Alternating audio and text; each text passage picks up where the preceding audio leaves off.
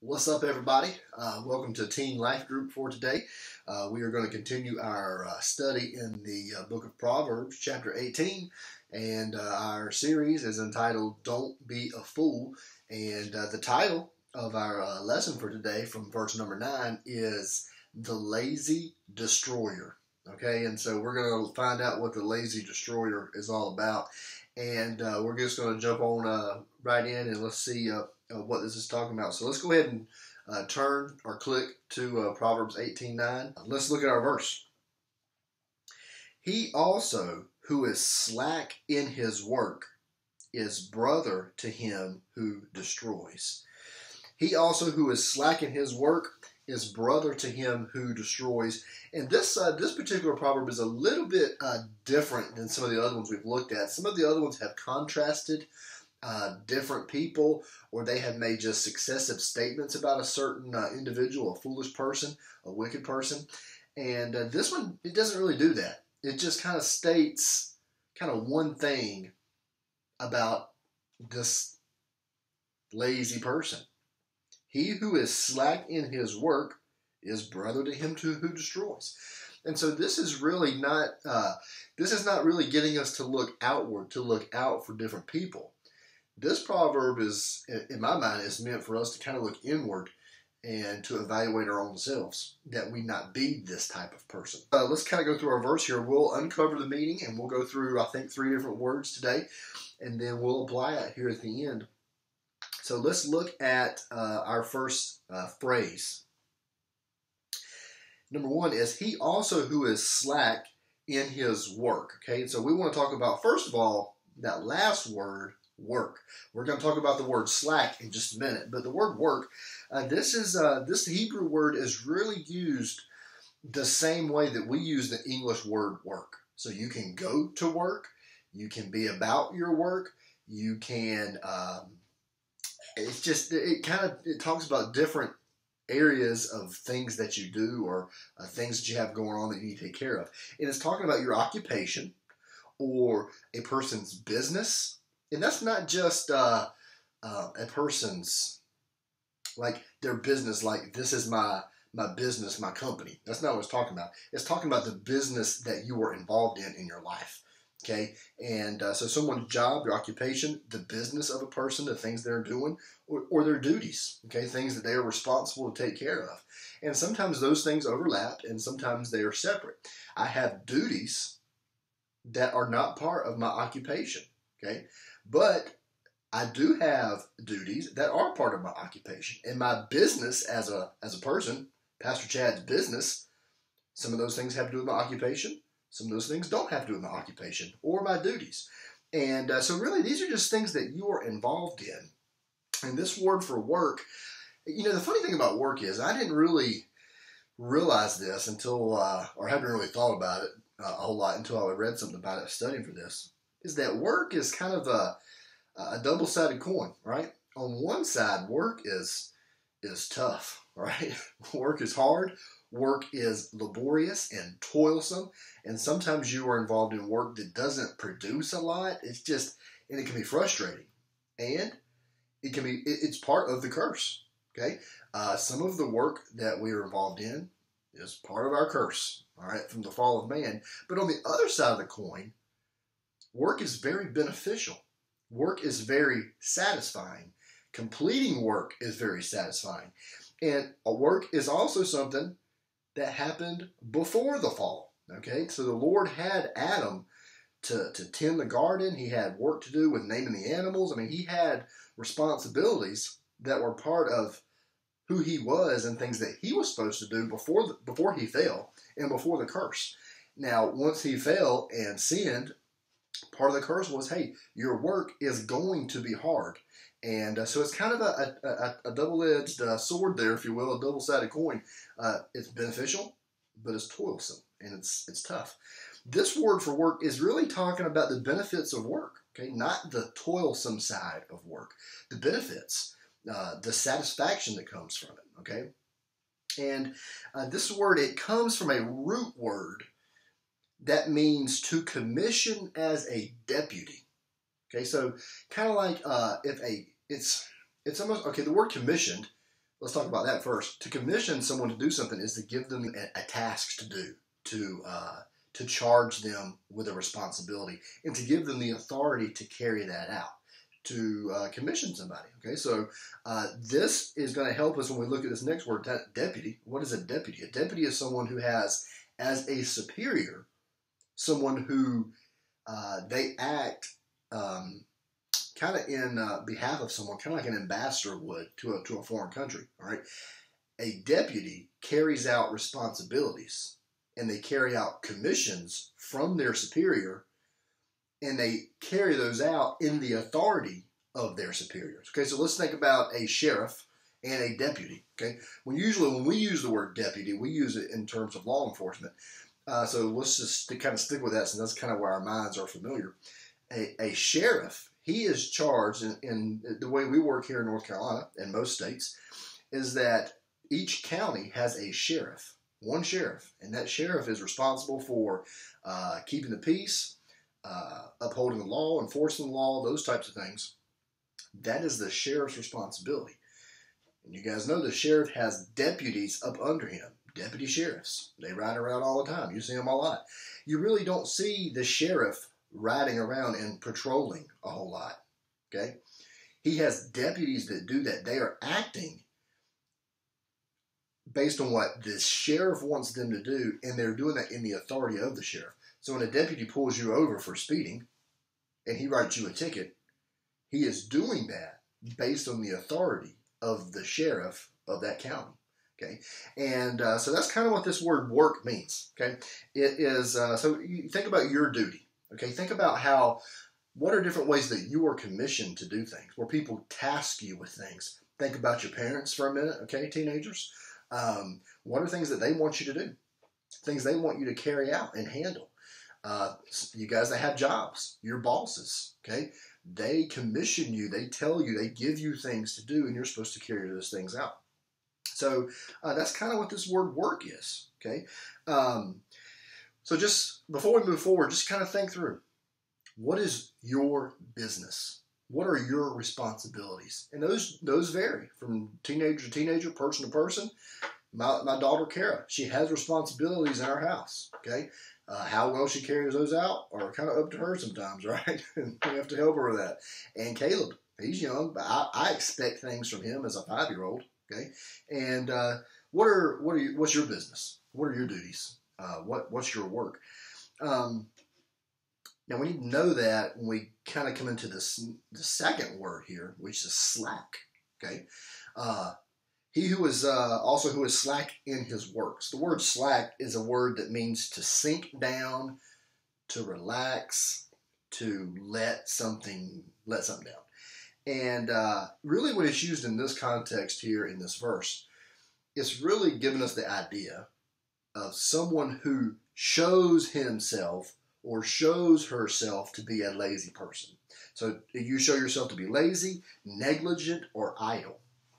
Uh, this is a picture of uh, a part of my backyard. And uh, when I bought our house, there was a pool there, and it sat right where that hole in the fence is. And that pool has since been taken down, and now there was a hole in our chain link fence where the pool used to be. And so Ms. Lauren and I decided to uh, kind of close that in. And so as you can see in the next picture, we put a fence up just recently. And uh, I'd never put chain link fence up before. And one of the things, I watched some videos and just, you know, figured out how to do it. And it was just a small section. And as we started putting that up, uh, we realized pretty quickly that we were going to have to put a lot of tension on that fence and pull it so that it was nice and tight. Okay, uh, we started pulling up. We put our post in, and we stand this chain link fence up. And the first thing that it wants to do is slack and fall back down. All right, it's just kind of just kind of hanging there. And so we had some fence ties that we kind of put just a few on there to kind of hold it up. What if it would have stopped right there? We would have said, "Hey, this fence, it's it's up there and we just left it like that. Would that fence accomplish anything? No. It's a slack fence. One reasons we put that there was to keep our dog in our yard. All right. Our dog, uh, Casey, she could have gotten out from that fence. It wasn't pulled tight. It was slack. It was just a lazy fence. Okay, and so now you obviously you can see from the picture we didn't do that. We took the slack out of that, and we got some uh, some little ratchet straps, and we were able to pull that fence really tight, and then bolt it down so that it would it would it would it would be a strong fence. It's not a slack, lazy fence. And this is kind of the idea here, is that you don't need to be a lazy person. You don't need to be slack. Right? So if you were a chain link fence, how would you be as far as your responsibilities? My fence has a responsibility to keep our dog in our yard and to stay standing up, right? If how do you do? Are you a strong fence or are you a lazy fence? Are you a drooping fence? Do you not carry out your responsibilities in the proper way? Okay? That's what this is saying. He who is slack in his work, he who is lazy. Okay? Uh, let's go to this next phrase. This type of person who's lazy, it says that he is brother to him who destroys. So this word destroys, it means to destroy. It means to ruin. It means to corrupt. It means to decay. And uh, really, you know, there's this word uh, for destroy. There's actually two Hebrew words that are there, and most translations just use the word destroy to to put it there. But it's really um, uh, the word Baal is there. You may know the word Baal from the Old Testament, foreign uh, false gods. But the word Baal means master or Lord. And uh, you know, so the, the whole the full expression is that he is brother to someone who is the master of destruction. Okay, so it's a little bit uh, it's a little bit more intensified than just destroyer. This is it's kind of a bigger type of deal. There's a place in Proverbs, I think it's Proverbs 24, where it says a man of destruction, but it uses the word man ish. Here it's master, Baal of destruction. So he who is slack in his work is brother to him who is a master of destruction. And so this is, you know, there's there's some emphasis here with this word destruction. Let me show you um, a couple Bible passages. This word has some dev- devastating implications. So I'm going to take you to three Bible passages. We're just going to read them, but I want you to keep this word destruction in your mind. Okay. So if you're lazy, you are a brother to the destroyer okay, to a destroyer. Let's go to Genesis chapter number 6. Genesis 6.11, uh, I'll put it up here for you so you don't have to turn there. Genesis 6.11 says, Now the earth was corrupt. We're talking about, uh, this is in the days of Noah. Okay, so the world is about to be destroyed by a flood. Now the earth was corrupt, and that's our word, in the sight of God, and the earth was filled with violence. So this is that word destroyed. Okay, uh, the world, the earth was corrupted. It was it was ruined. It was ruined to the point that God is going to destroy it and start over. Okay, uh, let's go to uh, Genesis 18. Uh, Genesis 18 and 19 are two chapters that you're familiar with. This is where Abraham is speaking to the Lord in relation to Sodom and Gomorrah. So Lot, his nephew, was there, and he ar- he argues back and forth with God, trying to cut a deal about uh, if there's 50 people there that are righteous, don't destroy it. If there's 10, if there's five, and he, you guys are probably familiar with that. In chapter 19, verse 13, this is where the angels that the Lord sent to destroy it, they uh, they come to rescue Lot and his family. So this is what those angels say to Lot. For we are about to destroy this place because their outcry has become so great before the Lord that the Lord has sent us to destroy it. And so it's used twice there. Okay, um, Sodom and Gomorrah was it was completely destroyed. Those two cities. There was it was it was laid flat. Okay, and um, so pretty devastating results here that the Lord is going to accomplish uh, through these angels in destroying these cities. Okay, if you are lazy, then you're like a destroyer. Okay, so being lazy, the point is that it's a serious thing. Don't be lazy. Okay. The last place I want to show you is Exodus chapter number eight, and um, there's a couple places where this word is used. Actually, we're just going to look at one verse in verse 24. This is the plagues on Egypt. Okay. Uh, this is speaking about the swarms of flies that uh, that come over Egypt. Look look up on the screen. It says. Um, Then the Lord did so, and there came great swarms of flies into the house of Pharaoh and the houses of his servants, and the land was laid waste because of the swarms of flies in all the land of Egypt. So, if you're familiar with the plagues of Egypt, those plagues completely destroyed Egypt and just completely devastated the economy, the land.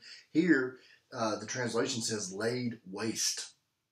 That's the word to destroy that we've been looking at. So he who is slack in his work is brother to him who is a master of destruction. In the same way that Egypt was laid west, laid waste. Sodom and Gomorrah, they were destroyed. In the days of Noah, the earth was so corrupt and ruined. That's the type of person that you are like when you're lazy. Okay? Um, so, real quick, okay? Let's apply this. And this is really simple, okay? But this is extremely important for the way that you live your life, okay? And I hope you'll really take time to think about some of this. Number one is this laziness equals destruction. Okay, a lot of times we think, oh, you know, I, just I'm just going to put that off for a little bit. That type of mindset and procrastinating and being lazy and half-hearted in the way that we carry out our work, our business, our duties. This proverb likens that that we are we are like a destroyer. We are like someone who ruins things. Okay, um, look what it says. I didn't say too much about this, but he also who is slack in his work is brother to him. The word brother there, uh, you think about that relationship. Okay, it's used here to signify something like, hey, you are just like a destroyer. You are similar to a destroyer. You're brother to a destroyer.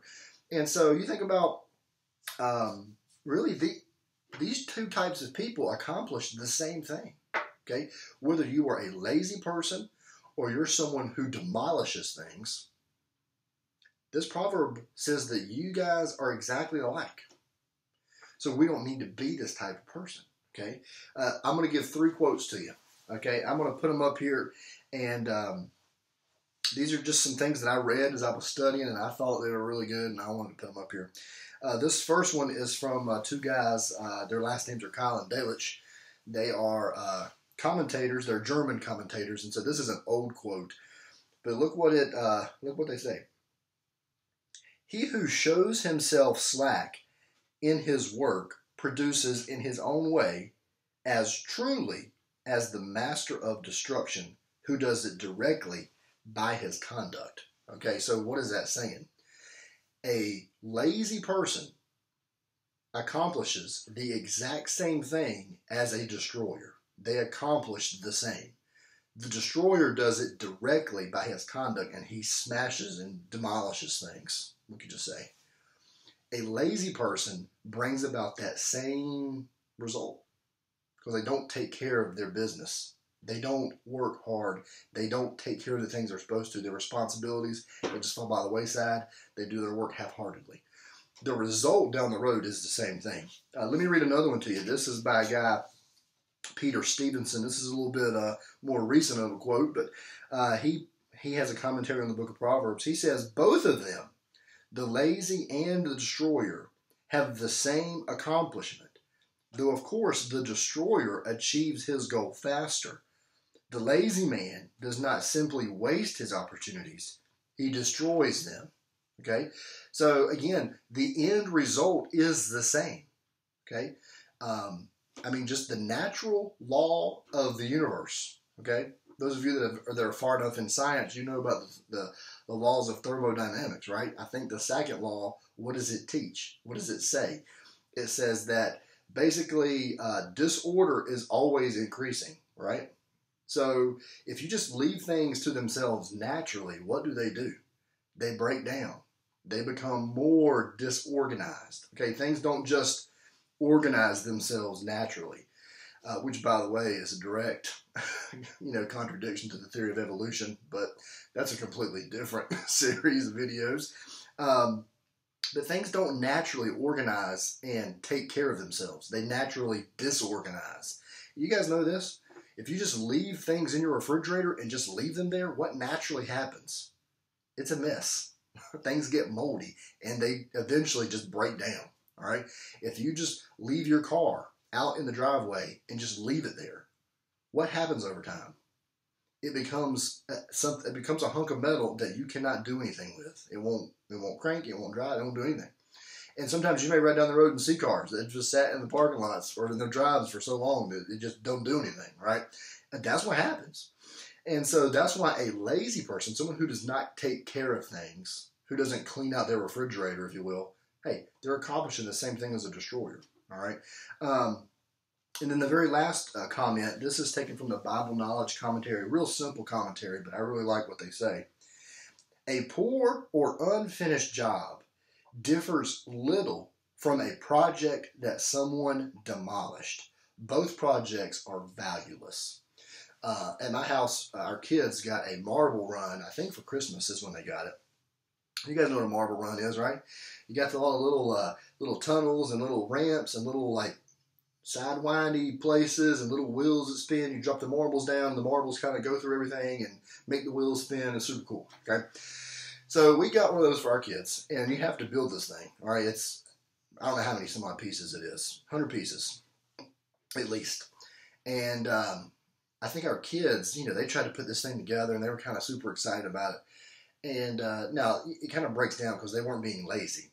Okay, they were younger, and it's a little t- tougher for them to do. But they basically had an unfinished, poorly assembled marble run. Okay, and they try to put their marble in, and it just don't. It doesn't go where it's supposed to go. It doesn't end up where it's supposed to go. It doesn't do what it's supposed to do. It's just a valueless mess. so I come home from work, and uh, they're super excited about putting this thing together. They've already tried and failed, and they got kind of a poor, unfinished job sitting in there in the in the room. And so I come in and we kind of just tear, tear it all down, and we build it the right way. Okay, so I take time, I look at the instructions, we build it right, we put the marbles in, it just it works perfect, and they, and they love it, having a great time. But it's a little, it was sitting on some carpet, and and it kind of was a little, just the design, you know, it doesn't take much to touch it and something fall over, and that's what happened, right? One of us bumped it the wrong way with our elbow or something, our foot hit it or something, and it just fell. It was demolished. And so there it is laying on the floor, half of it still standing. But guess what? It is a mess. It is a valueless marble run. So my kids, who, bless their hearts, they poorly and in an unfinished way tried to put this marble run together, and it was useless once it was put together correctly but was demolished, what is it? It's the same thing. It's useless. So when you don't when you don't accomplish your work the right way, it's the same thing as just demolishing it. That's what this guy says here. A poor or unfinished job differs little from a project that is that someone demolished. Both projects are valueless. Okay. So uh, number one is that uh, laziness equals destruction. Okay. Uh, number two, and we're, we're going to be done here just a just a just a minute. Verse number uh, number point number two here. Sorry, I put a three up. Two. number two is work diligently. Okay, uh, do your work with care and conscientiousness. All right, there's your word for today. Do you know what it means to be conscientious? All right. Um, let's talk about the word care first. This means that your work matters to you. You know what that means? You care about your work, whatever that is. Um, now, what does it mean to be conscientious of something? It means that you want your work right. You want it done correctly. You don't want it like half heartedly done. You want it done right. So think about your homework, okay? Do you do your homework diligently? What about chores that you have? Do you do those chores diligently? Do you carry out your responsibilities diligently? Because listen, I'm going to tell you something. Your work, your business, whatever it is, it reflects on you. And you need to learn this as teenagers, okay? Because uh, you got my wife, Miss Lauren, she's a teacher. Sometimes she'll bring papers home to grade or something like that uh, from time to time, or I'd be up at this classroom and see her grading some stuff. And sometimes she would stop and say, Honey, come look at this. And I come look at this kid's paper, and it's just poorly done.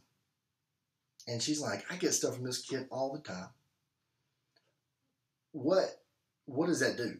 That work reflects on that student because she knows that the student is capable of more. And she sees the work that the student turns in and it just don't matter. What is it? it reflects poorly on that student, right?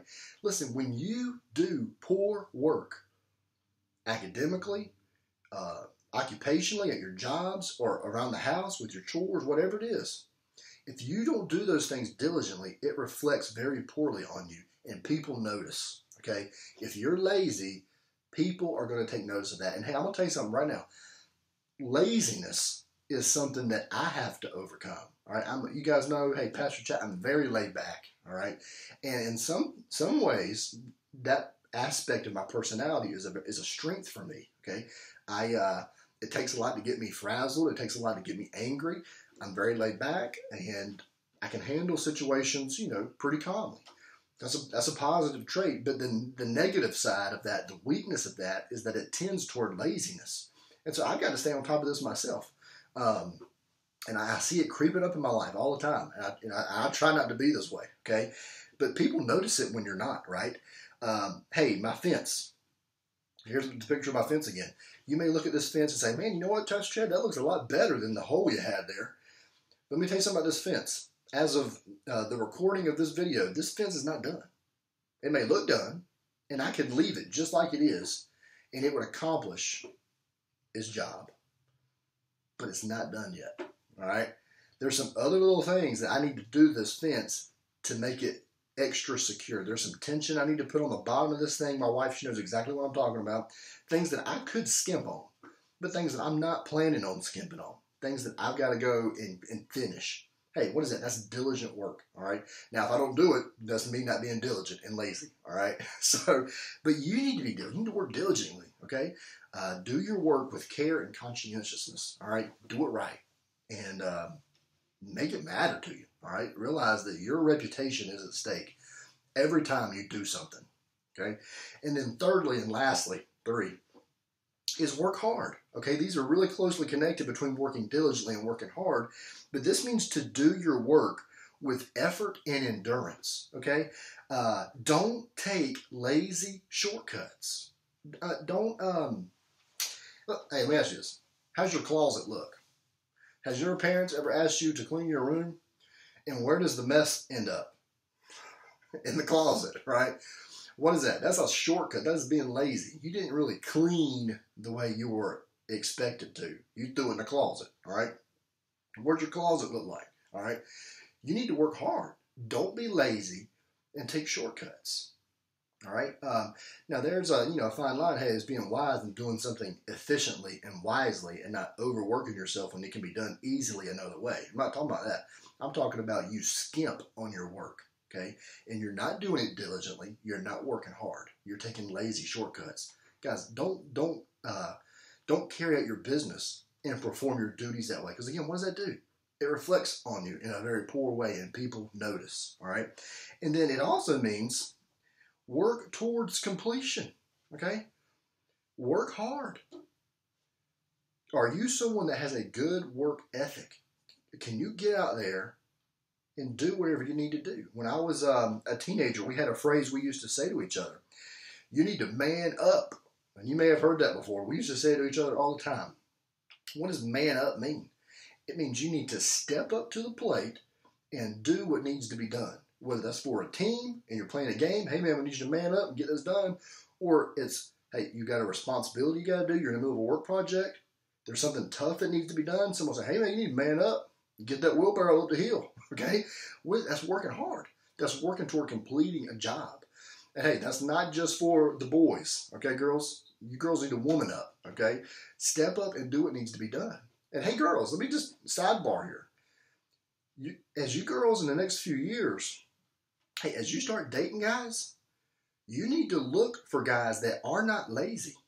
Okay, Because one day, hopefully, you're going to marry somebody, and that man, if he is lazy, and if he does not do his work and take care of the duties of your house, then who's going to do that? You or nobody? So, girls, now again, I realize there's a big difference between an 18 year old and a, and a 28 year old, okay? And so, you know, a man does mature as he gets older. But hey, you need to be looking for that. You need to be looking, is this, is this teenage guy, is this young adult guy, whoever, whenever you start dating, is he lazy now? Because odds are he's going to continue to be lazy. Okay, so look for someone who works hard. So guys, you need to be someone who works hard. Okay, so hey, let's let's work hard. Let's work diligently. Let's uh not be lazy, and please don't be a fool. I'll see you next time.